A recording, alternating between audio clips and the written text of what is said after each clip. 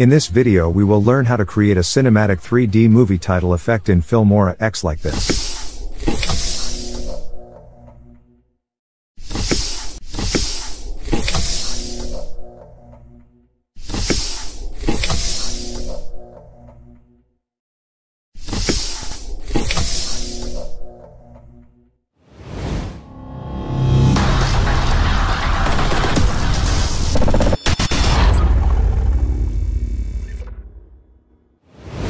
Hello video editors. My name is Salih Ali, welcome to Salih Tutorials. Titles are a feature element, they're meant to stand out. They act like a hook to draw viewers into your content, so it's important to make sure they look great. In this video I will show you tips for creating 3D title effect of cinematic movie. So apply these tips to your designs to create 3D title effect of cinematic movie that stand out, look beautiful and reflect your unique design style. Friends, if you are new to our channel, please subscribe to the channel, and click on the bell icon so you can keep up with our upcoming videos. I always work hard to make a video for you, so please like the video.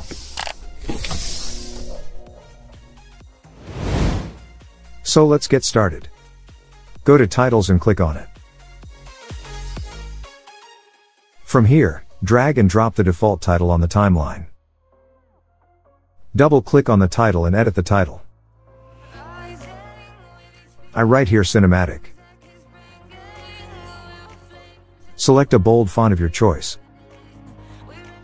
Set the font size. Click the Advanced button next to the OK button. Open the Customize tab inside Advanced Edit. While keeping the text fill check on, select Gradient Fill inside the type box. Select white color inside the upper color box. Select the black color in the second color box.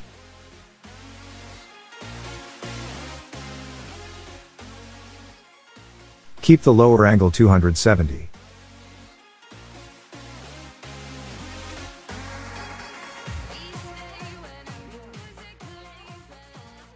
Also keep the text border check below it.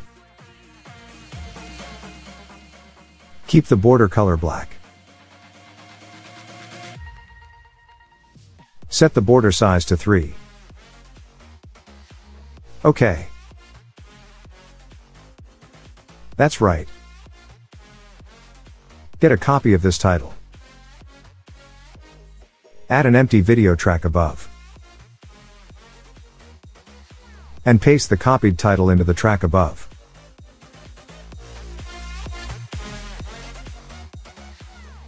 Hide the track above.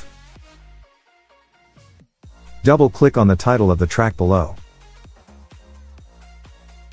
Delete the letter in the middle of this title and create empty spaces according to that letter.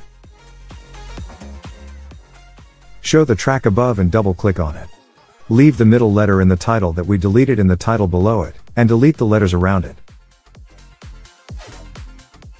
So you can see that we have left only the middle letter M in the title of the track above and deleted the rest of the letters. And in the title of the track below, we deleted M in the middle and instead we added space. Okay. Hide the track above, and take a snapshot of the title of the track below. After taking a screenshot of the title below, show the track above, and hide the track below. Now take a snapshot of the title of the track above. Delete these two titles on the timeline. Drag and drop the snapshot from the track below into the track below.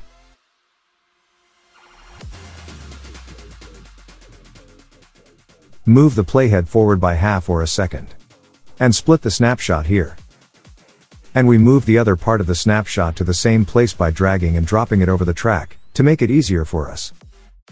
Place the playhead at the end of the first part of the snapshot and double click on the first part. Go to the animation tab and click on it. And then on customize. And add a keyframe to the end of the first part of the snapshot. Put the scale 120 in that keyframe. Move the playhead to the start of the snapshot. There is also a keyframe to be added. Increase the scale in this keyframe as much as possible. I put it at 400. And keep the opacity to zero.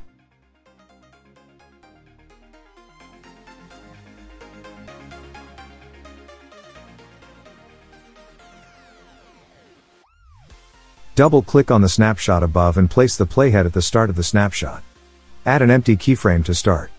Then move the playhead 1 or 2 seconds further. There is also a keyframe to be added here. Place the scale 70 in this keyframe.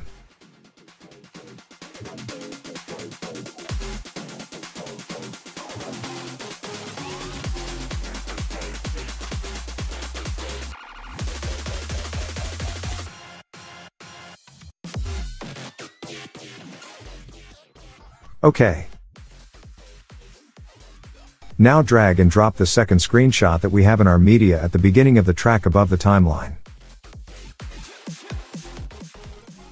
Split the snapshot and drag and drop the other part of this snapshot to the same spot in the track above. Double click on the first part of this snapshot. Now we need to add keyframes in this snapshot, just like the track keyframes below. I click on the first keyframe of the track below to find out how we adjusted this keyframe scale and opacity. So you can see that we have 400 scales in this keyframe and 0 opacity. So in the same way we adjust the keyframe of the track above accordingly. I keep the scale 400 here. And the opacity 0, according to the keyframe below. Move the playhead to the end of the first part. We will also add a keyframe here. We will make adjustments according to the keyframe of the track below. I click on the keyframe of the track below. Here's how we adjusted this keyframe. So now I click on the title of the track at the top, and adjust the keyframe here according to the keyframe of the bottom track.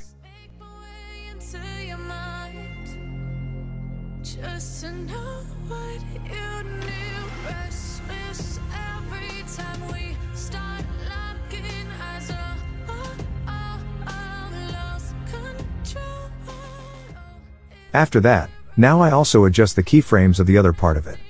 We will also adjust the snapshot keyframes by looking at the snapshot keyframes below.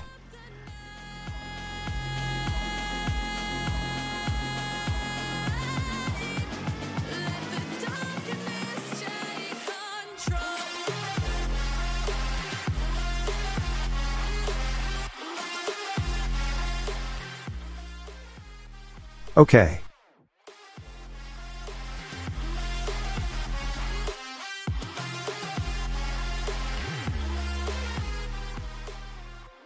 Select both parts of the snapshot in the two tracks above.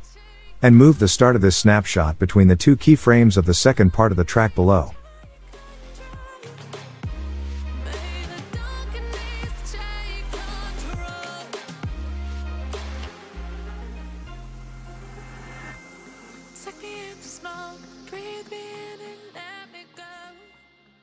Select the snapshots of all the tracks on the timeline and move it by dragging and dropping a track, so that we have an empty video track at the bottom.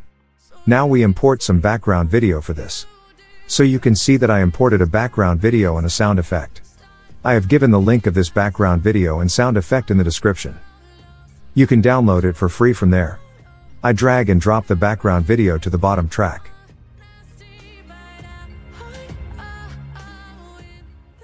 I split and delete the extra parts.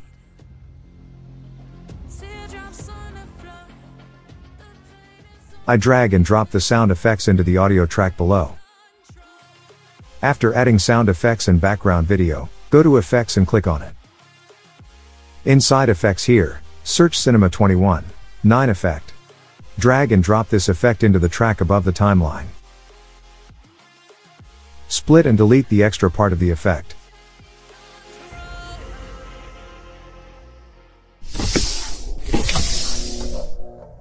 I hope you enjoyed this cinematic 3D movie title effect. If so, please like the video and subscribe to the channel.